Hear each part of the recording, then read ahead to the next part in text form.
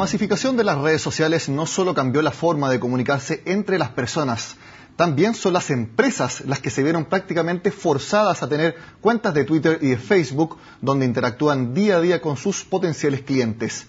¿Es una ventaja para ellas o es un arma de doble filo? De eso conversaremos con Silvina Moschini, CEO y fundadora de Intuic. Silvina, muchas gracias por tu tiempo en Agenda Económica. Un placer de acompañarte, Gonzalo.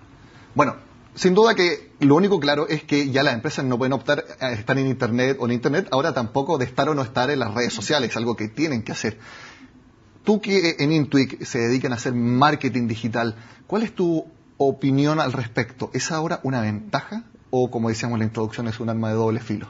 Yo creo que ofrece nuevas alternativas, pero las empresas, lo mismo que los políticos, y lo hemos visto claramente en esas últimas elecciones en Venezuela o en Estados Unidos, están yendo donde está la gente. Y la gente está en las redes sociales. Entonces, creo que es una oportunidad que le presenta a las empresas de poder comunicarse, tener un canal de doble vía con sus audiencias claves, con sus audiencias estratégicas, y que está en ellos el poder entender cómo funcionan, entender la dinámica y poder aprovecharla. Las redes sociales están siendo un complemento, por ejemplo, de las encuestas. Yo no sé si todavía las empresas siguen haciendo encuestas, si es que ya tienen algo prácticamente eh, de forma instantánea con las redes sociales, está reemplazando a los call centers.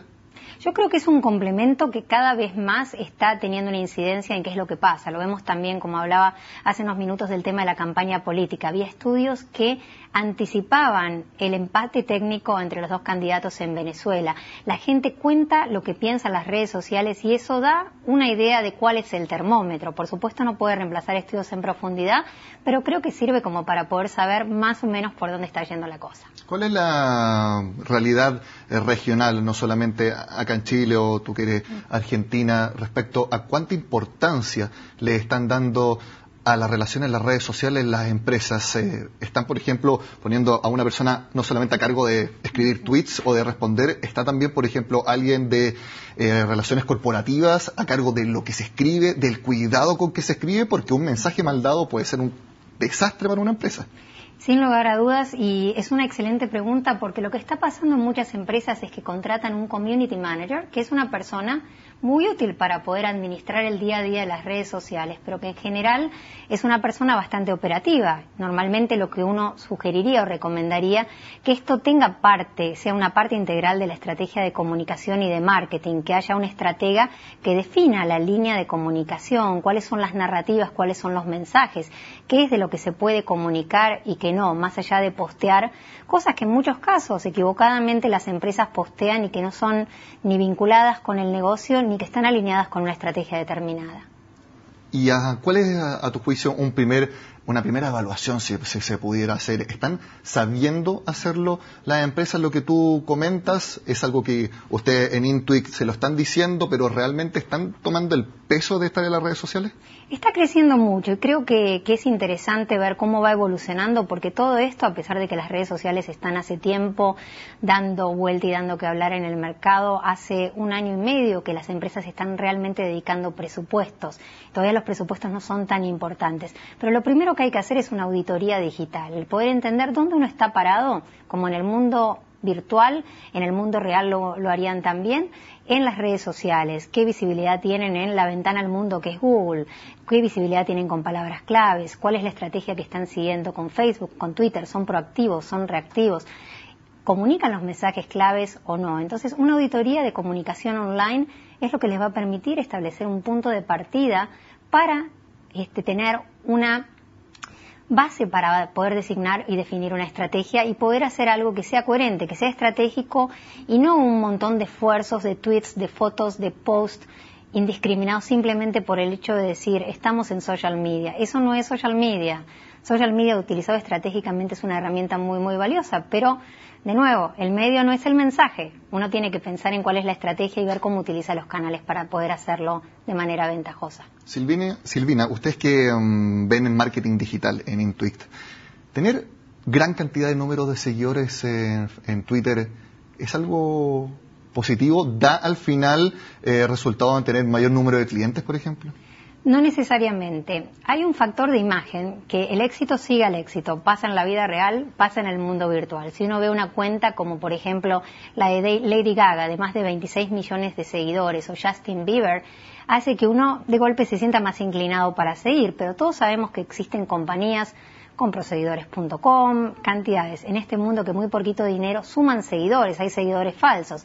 Entonces... Eso, te quería preguntar. Eh, muchos han hablado de que, por ejemplo, Justin Bieber tenía seguidores falsos, incluso mm, contrataba personas para que hicieran eh, cuentas falsas.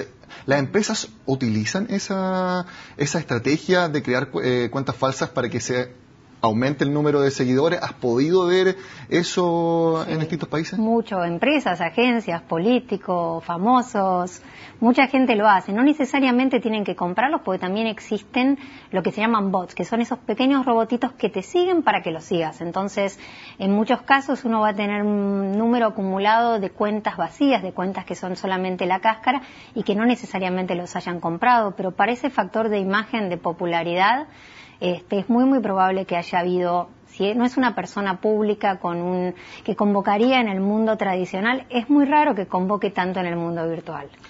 Una forma, por así decir, tradicional de marketing en las redes sociales, digo tradicional porque hace tres años esta pregunta no la podría hacer porque no existido el tema, de pagar para, por ejemplo, ser trending topic a nivel mundial, regional en Twitter o ser eh, ofrecido como para poder seguirlo. O también, por ejemplo, en Facebook para poner likes o poner me gusta. Son eh, herramientas que dan resultado en términos de visibilidad para la empresa. Yo creo que hay dos cosas. Eh, Twitter ofrece servicios publicitarios que son, por ejemplo, el ser el Twitter, el trending topic promovido o una cuenta promovida, y eso hace que se generen mayor número de seguidores legítimos, no es lo mismo que comprar seguidores. Y eso puede ayudar en visibilidad y si está atado una campaña de, por ejemplo, generación de demanda o una promoción, LAN lo ha hecho muy efectivamente, JetBlue en Estados Unidos también lo ha hecho para vender pasajes con descuento.